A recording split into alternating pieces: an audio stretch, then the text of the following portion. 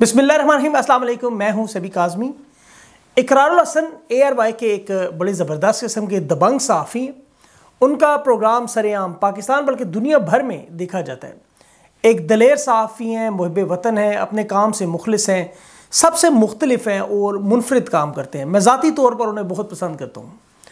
आज लाहौर डिफेंस के के ब्लॉक में पुलिस स्टेशन के बिल्कुल सामने उन पर जो हमला हुआ और उसमें कुछ नामालूम अफराद शामिल थे।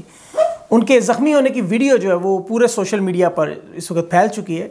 आप सबने देख चुकी होगी। उसमें उन्होंने बताया कि किस तरह चाबी हाथ में रख कर उनके साथ ऐसा किया गया और सबसे पहले तो मैं इस हमले की जो है वो भरपूर मजम्मत करता हूँ और अल्लाह ताला इकरार हसन समेत सब लोगों को अपनी हिफ्ज़ अमान में रखे।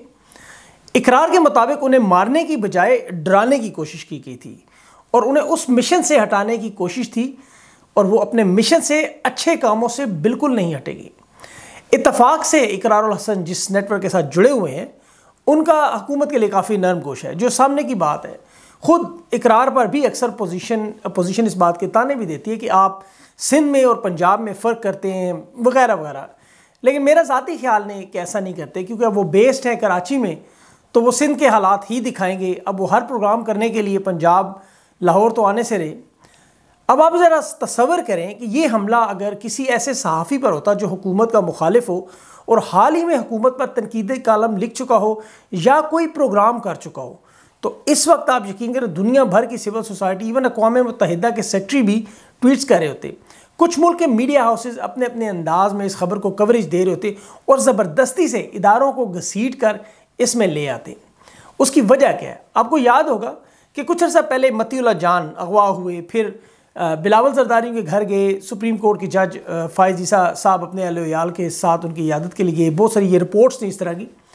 सहाफ़ी बीमार हो या ज़ख्मी हो तो इसमें कोई शक नहीं, कोई भी बीमार हो, हमें जाना चाहिए। लेकिन इस मामले को क्या रंग दिया गया था? और अब तक मतीउल्ला जान साहब इवन दो कि इस पर बहुत सी वीडियोस बना चुके हैं, लेकिन कोई कॉन्क्रीट सबूत ऐसा सामने नहीं ला सके। इकरार हसन भी अपने ज़राए और खुफिया तौर पर काम करने वाले ज़रिए, ज़राए के ज़रिए मुल्क में फैले हुए घनावने जुराइम का पर्दा चाक करते हैं। बल्कि उन ज़िम्मेदाराना, ज़िम्मेदार लोगों के चेहरे भी अपने कैमरे के ज़रिए पूरे मुल्क के सामने लाते हैं। क्योंकि उनके प्रोग्राम में हर हफ़्ते किसी न किसी ऐसे मामले को लाया जाता है। दिसंबर 11 के प्रोग्राम में उन्होंने एक बड़ा अहम सवाल उठाया था कि क्या मरियम साहिबा को फ़ौज पर ऐसे बयान देने चाहिए या नहीं? मरियम साहिबा ने अभी अभी हाल ही में बट कढ़ाई की बड़ी तारीफ़ भी की और वो बट कढ़ाई जो है एक रेस्टोरेंट आपको पता है, कराची में इकरारुल हसन साहब की अहलिया भी चलाती हैं और उनका चैनल और ये खुलकर उस तनकीद भी करते हैं मरीम साहबा भी उम्मीद है मरीम साहबा वैसे कढ़ाई की तारीफ़ जिस तरह उन्होंने की, इस तरह हमले की भी मजम्मत जल्द ही कर देंगी।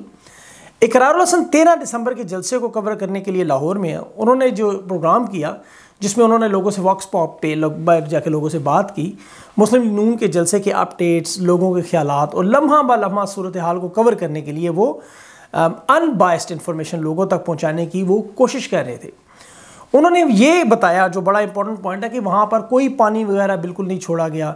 ओछे हथकंडे गवर्नमेंट नहीं इस्तेमाल करी और वो ये बात करके हुकूमती बयानिए को जलसे से पहले मज़बूत कर रहे थे। और आवाम तक हकायक और सच पहुँचाने की कोशिश कर रहे थे। पाकिस्तान में आपको पता है, ऑनलाइन और ऑफलाइन तशद तो होता है। इसमें ख़वान सरगम रजाकार हैं, अक्सर अवकात अकलीती बरदरी से तल्लक रखने वाले सहाफ़ी भी हैं। इन पर भी हकीकी ज़िंदगी में भी हमले किए जाते हैं। इसमें कोई शक नहीं, क्योंकि जब आप मीडिया पर बैठ कर लाखों लोगों को तहकीक से आगाह करते हैं तो आपके दोस्तों और दुश्मनों में ऑफकोर्स इजाफा तो होता है। आपके स्कैंडल्स भी बनते हैं और आप ख़ुद भी अक्सर ख़बरों की जीनत बन जाते हैं। अभी हाल ही में हमने, हम एक मशहूर एंकर हैं यूट्यूब पे काफ़ी फ़ेमस हैं। उनके शिकार के बारे में, फिर उनके कारोबार और फिर उनके घर पर भी बातें सुनी, जो कि उन्होंने बड़ी खूबसूरती से तफसील से लोगों को आगाह किया कि इसमें कोई सच्चाई नहीं और सारे सबूत भी लोगों के सामने उन्होंने रखे। बलूचिस्तान में सहाफ़ी शाहीना शाहीन थी, जो कि बलूचिस्तान के ज़िला केच में आपको पता है एक वाक़ हुआ, जिसमें बाद में उनके शोर को नामजद भी किया गया। लेकिन उस वक्त भी यही कोशिशें हो रही थी कि किस तरह हम इदारों से इस चीज़ को जोड़ दें। लेकिन उसमें फिर कामयाबी नहीं हुई। इसी तरह सहाफ़ी लाहौर में, अरूज इकबाल लाहौर में चलेंगी वो अपना एक अखबार निकालना चाह रही थी, एक बड़े लेवल पर काम करना चाह रही थी। और उससे पहले भी कुछ अरसा पहले ही ख़वान सहाफ़ियों का जो इजलास भी हुआ कि जी हमारे साथ एक ख़ास रवैया, एक ख़ास पार्टी के लोग या इदारे उनके पीछे बैकग्राउंड पर हैं। वो करते हैं, घटिया इल्ज़ाम लगाते हैं, बातें करते हैं। हालाँकि आप अगर इन्हीं के अकाउंट्स देखें ट्वीट्स इनकी देखें तो आप अपने कानों को हाथ ज़रूर लगाएँगे। इकरार की बात दोबारा करें तो वो बड़ा उमदा काम करें उनकी एक ट्वीट पर, लेकिन उन्हें जितनी जल्दी इंसाफ मिला, उस पर बड़ी खुशी भी हुई, हैरत भी हुई और अफसोस भी हुआ। खुशी इस बात की कि अलहमदिल्ला वो खैरियत से हैं, कायम दायम में। हैरत इस बात पर कि उन्होंने अपनी सिक्योरिटी का इंतज़ाम क्यों नहीं किया? हालाँकि उनके सरेआम के प्रोग्राम्स या अभी रिसेंटली उनकी जो बातें हैं, उन पर उनके लोग बहुत से दुश्मन भी हैं, और उन्हें इस बात का ख्याल रखना होगा। अफसोस लेकिन इस बात का हुआ कि गरीब सहाफ़ी को एफ़ आई आर कटवाने में दिन लग जाते हैं और कोई पूछता तक नहीं। यहाँ पर एक ट्वीट पर एक, दो नहीं, सात लोगों को लॉकअप में बंद कर दिया। पुलिस का अच्छा और तेज़ इकदाम था जिसकी तारीफ़ करनी चाहिए। शायद लाहौर पुलिस की परफॉर्मेंस जो है उमर शेख साहब की वजह से बेहतर हो रही है। या ये इकरार हसन का नाम था कि जो इतनी जल्दी कारकर्दगी दिखाएगी।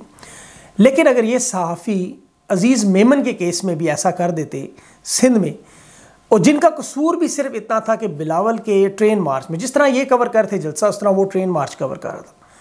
उसने वहाँ उनसे लोगों से सवाल पूछा कि आपको यहाँ क्यों बुलाया गया? तो उन्होंने बताया कि पैसे देकर हमें यहाँ बुलाया गया। अब उसकी भी तहकीक थी, उसका भी एक काम था। लेकिन उसके साथ क्या हुआ? उसी के माइक की तार से, आपने वो तस्वीरें देखी होंगी। अलमान हफीज़।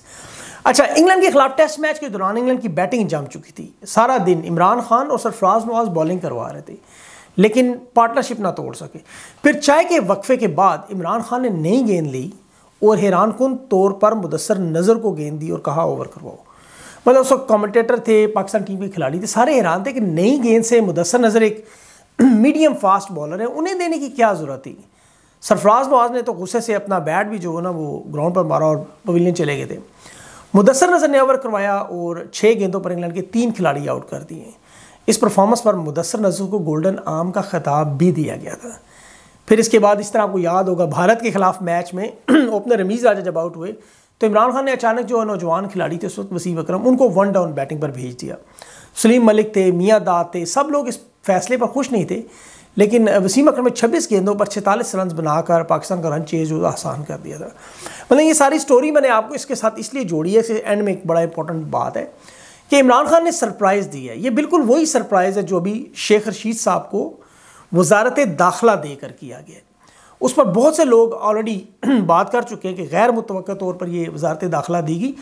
लेकिन मेरा नहीं ख्याल कि ये गैर मुतव फ़ैसला था। ये फ़ैसला सरप्राइज़ ज़रूर था बहुत से लोगों के लिए, लेकिन इस पर काम काफ़ी अरसे से चल रहा था। शेख रशीद साहब एक अच्छा वज़ीर दाखिला बनने के लिए डे फ़र्स्ट से जो कोशिश कर रहे हैं, उनका माली रिकॉर्ड भी शफाफ है। करप्शन पर उनका कोई इल्ज़ाम भी नहीं लगा। और वो जरदारी और शरीफ ख़ानदान साहब के जो ख़िलाफ़ है, बग़ैर किसी दबाव की कार्रवाई भी करेंगे। एजाज शाह साहब पर फौज के कुछ तबकात का दबाव था कि नवाज़ शरीफ और जरदारी साहब को रियायत दिलवाना चाहते थे। और शाह साहब को इसीलिए बदला भी गया। उनका नाम वजह नहीं थी बहरहाल। शेख शी साहब का एक पुराना हिसाब किताब भी है, जो उन्होंने जियो और हामिद मीर साहब से चुकाना है। आपको याद होगा कि 2000 के आसपास एक ज़िमनी इलेक्शन में शेख शीद साहब जब इलेक्शन लड़ रहे थे तो एक दिन पहले हामिद मीर साहब ने उनके खिलाफ एक प्रोग्राम किया था, जिससे उनकी लड़ाई भी हुई, उसके बाद शेख साहब ने उनके प्रोग्राम में जाना छोड़ दिया। तो ये कहा जा रहा है कि वो अपना पूरा करेंगे, लेकिन शुक्र हमदुल्ला के आज इकरार हसन थे, हामिद मीर नहीं थे, वरना आप देखते कि इस वक्त क्या हो रहा होता